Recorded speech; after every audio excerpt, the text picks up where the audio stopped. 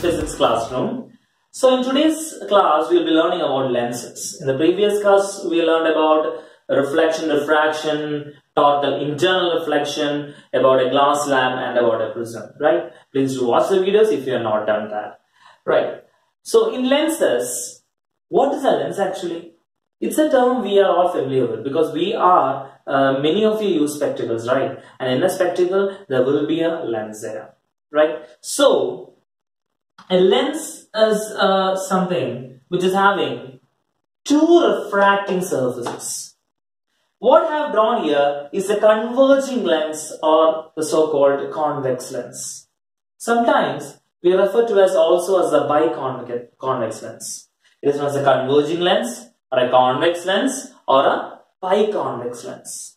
So it has two refracting surfaces, two spherical refracting surfaces. Now when you talk about a spherical refracting surface, you should know what is the condition there. So suppose this is a spherical refracting surface and the radius of curvature is r, radius of curvature is r, then we can write n2, this is n2 and this is n1, n2 by v minus n1 by u will be equal to n2 minus n1 by r. n2 by v minus n1 by u is equal to n2 minus n1 by r. Okay. So in case of a lens, we are actually having two spherical refracting surfaces. First one, this is the first surface.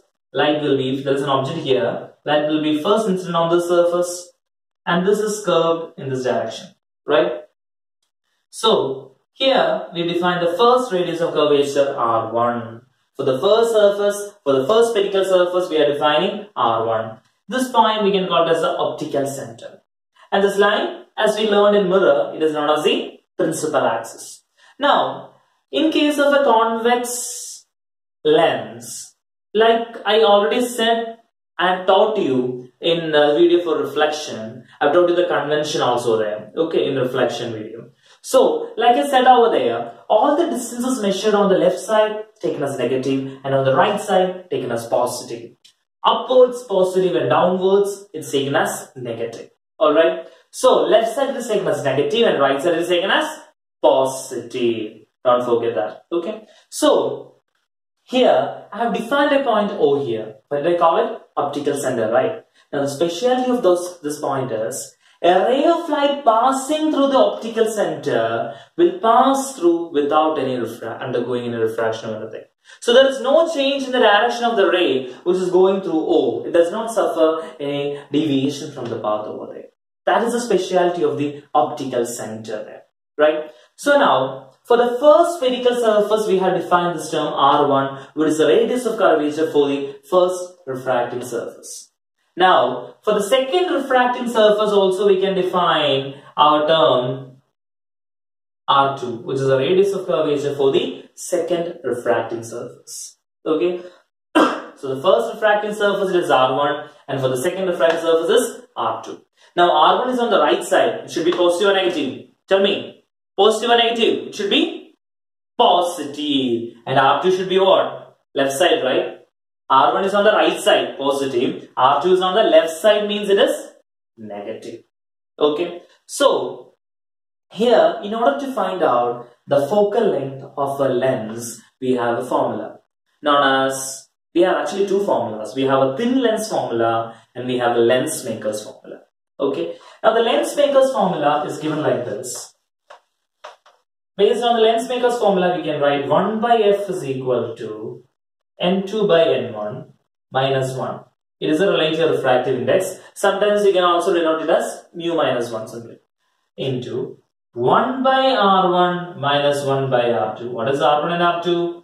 The radius of curvature of the two surfaces. So the focal length is equal to n2 by n1 refractive index minus 1 into 1 by r1 minus 1 by r2. Okay. Now please do remember the thin lens formula also which is given by 1 by f is equal to 1 by v minus 1 by u.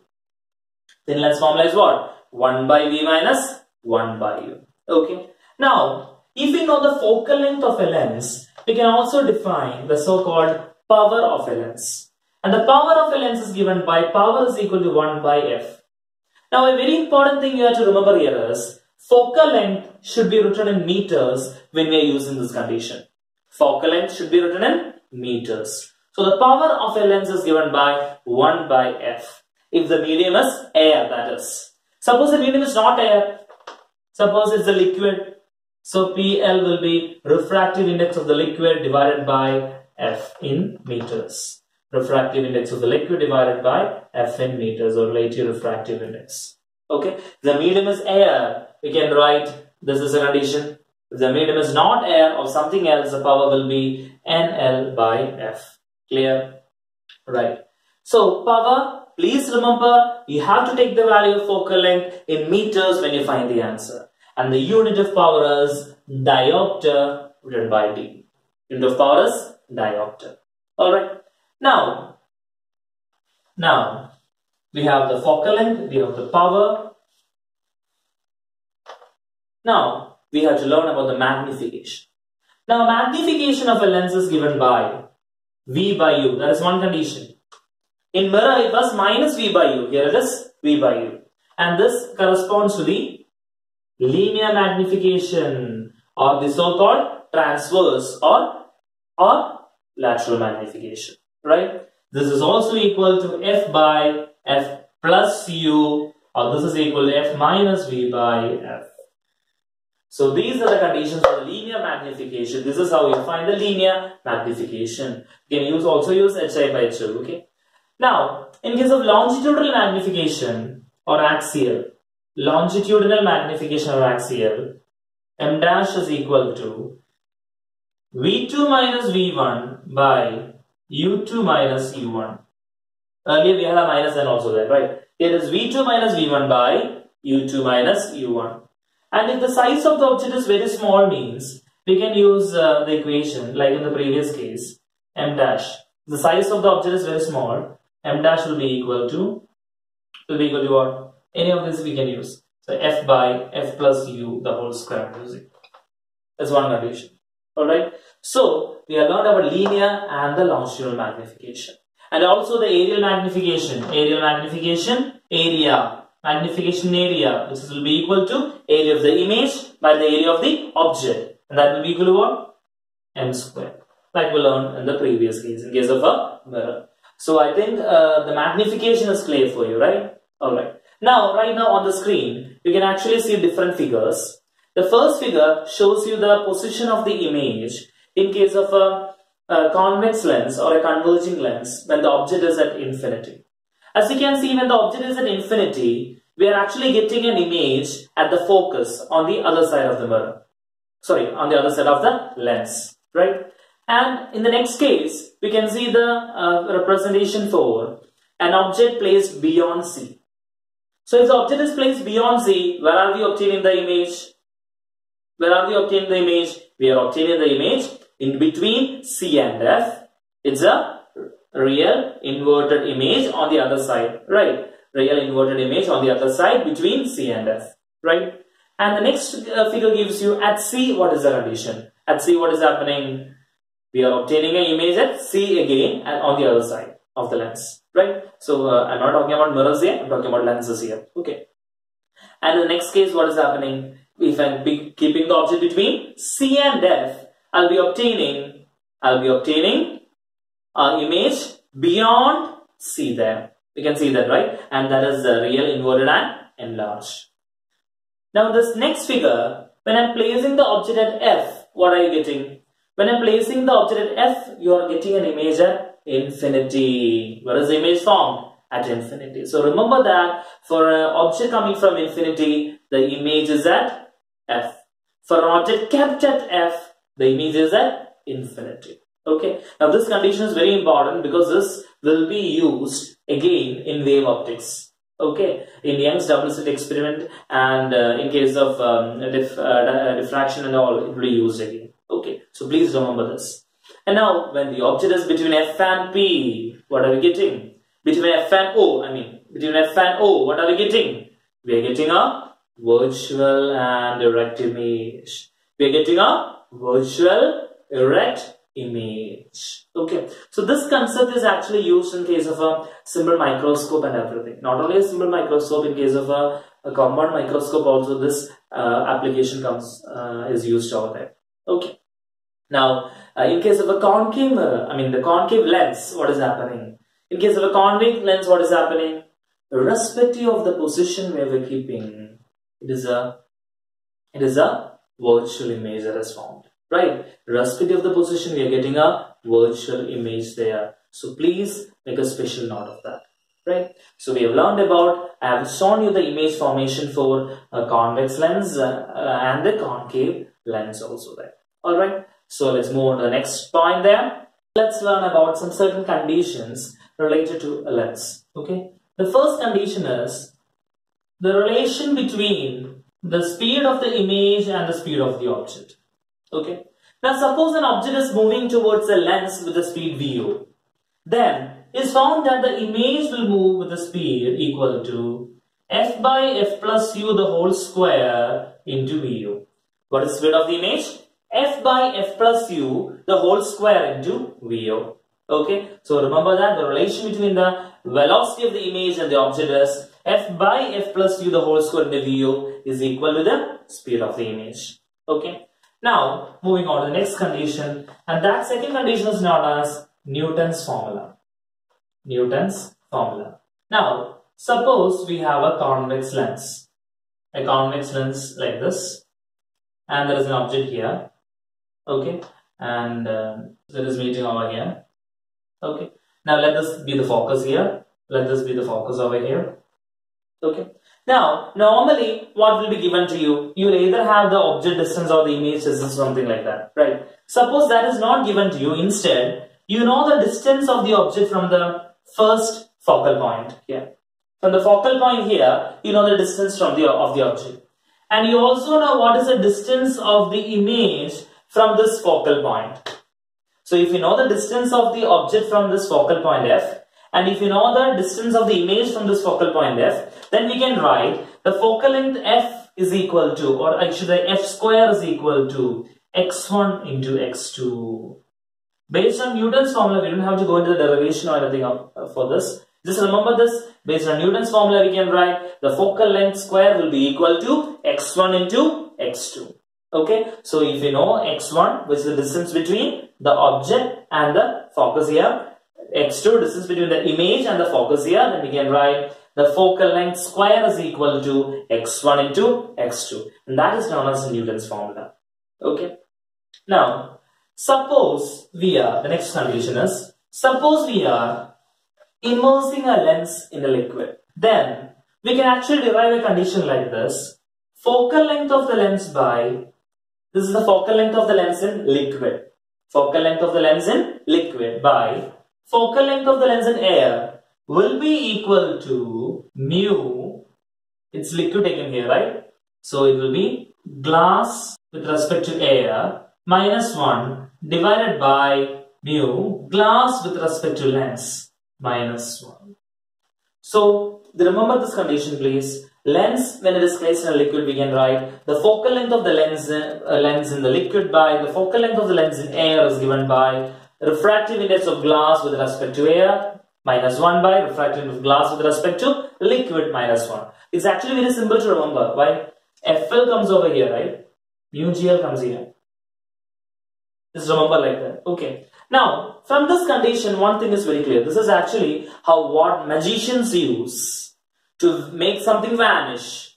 How do they do that? Let me tell you. If density of the glass is greater than the density of the liquid. Then, when we are immersing the glass in the liquid, nothing special will happen. It will retain the nature. The lens will retain its nature and everything. Nothing special is going to happen there.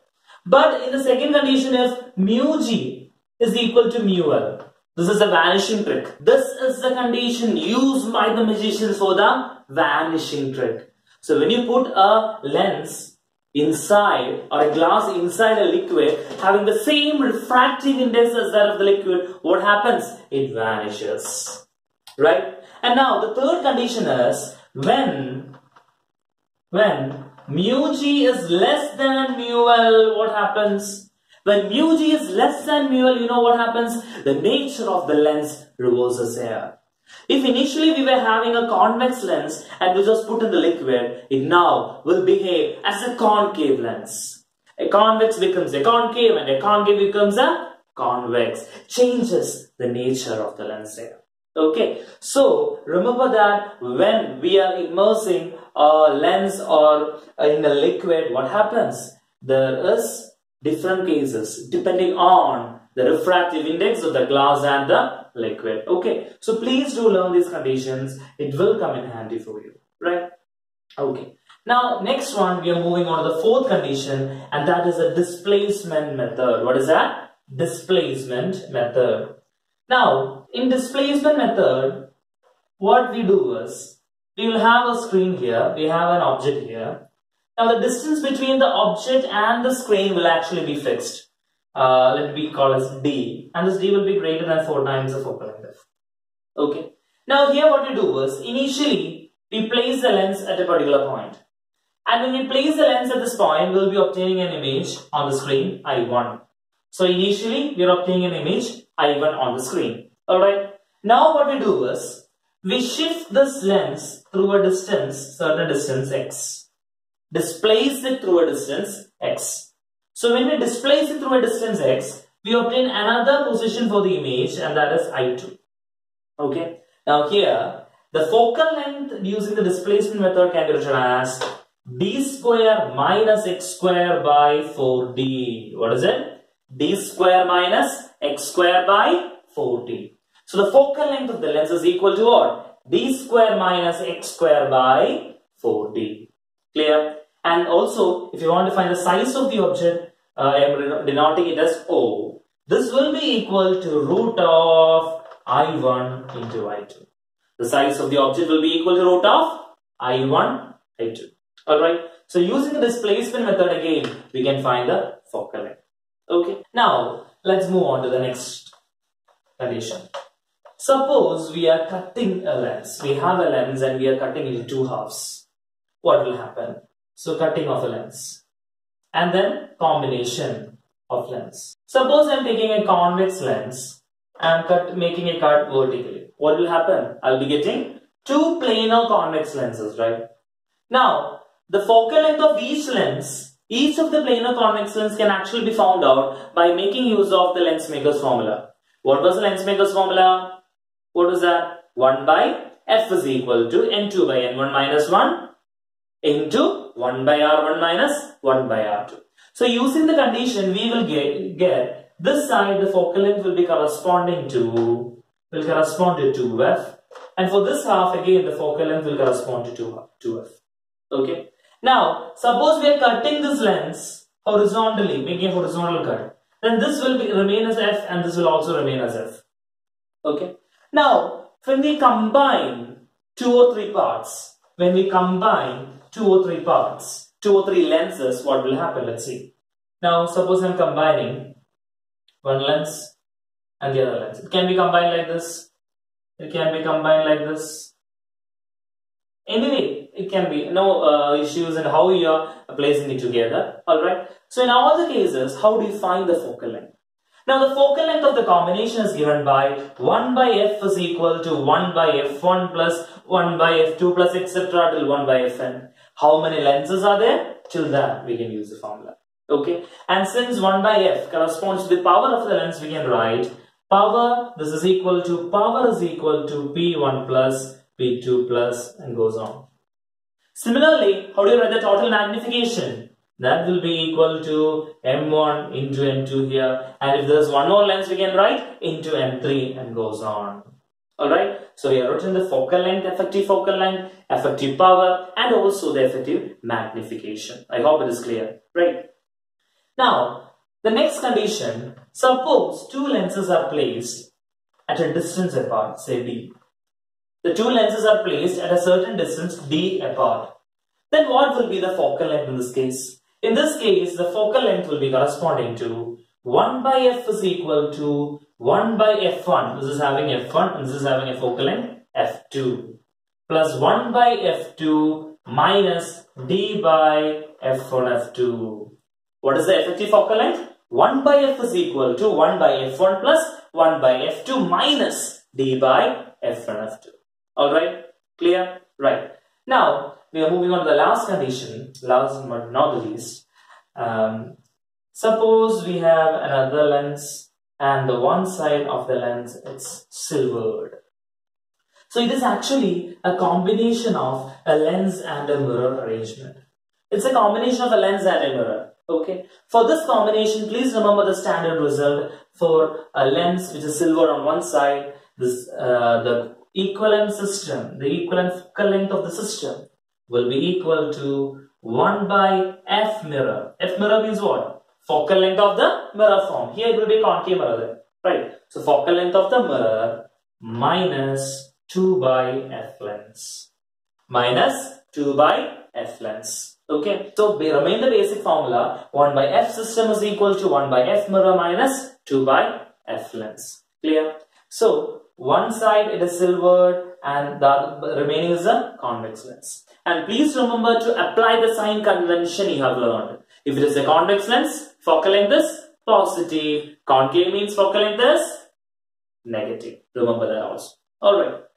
Okay. So I hope it is clear till now, right? And suppose we have a convex lens.